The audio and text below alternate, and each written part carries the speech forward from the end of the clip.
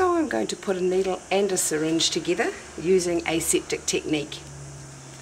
So here we have a syringe and here we have a needle.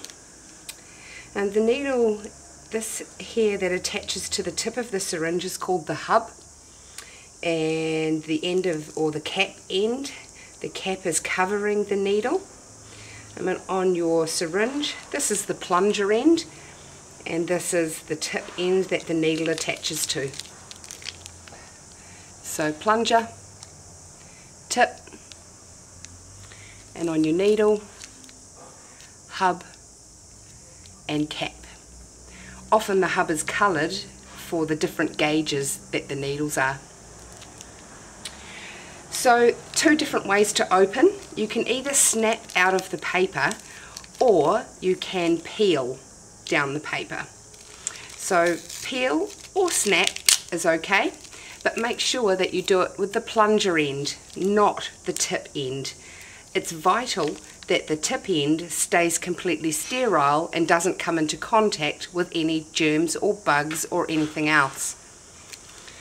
Remove the syringe from the paper. Be very careful, don't put the syringe down on anything. Keep a hold of it we don't want to contaminate the tip. The same with your needle. You can either peel it at the hub end or if you're going to snap it out of the paper, snap it out at the cap end because you can hold the cap. It's okay to hold there, but it is vital that we do not touch the hub with anything other than the tip of the syringe. So we want to pop the tip of the syringe into the base of the hub and put, push it in with a gentle twisting motion, making sure that the angle or the bevel of the needle faces upwards with the numbers. So here we have the numbers and the angle or the bevel is facing towards us. That way, when we're giving an IV injection, we can see just how much we're giving.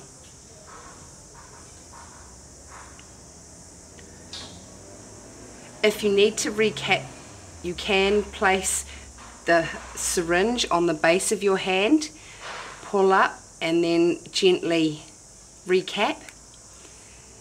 If you use your base or palm of your hand as a guide, that helps to guide the cap back on or alternatively you can place the cap on the table or in a kidney dish.